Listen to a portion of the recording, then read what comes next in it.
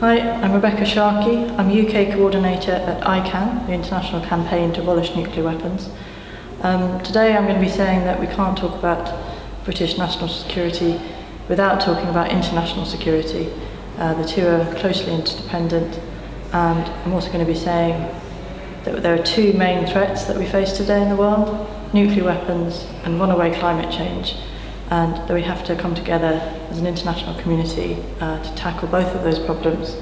Uh, we have to do this together and not be fighting each other. I would encourage everyone, young and old, um, to engage with this, both of these important issues.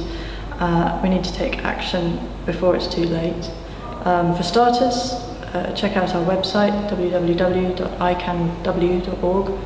and yeah, get, in, get involved, get engaged, we need you. Uh, we need to make progress on climate change, we need to ban nuclear weapons.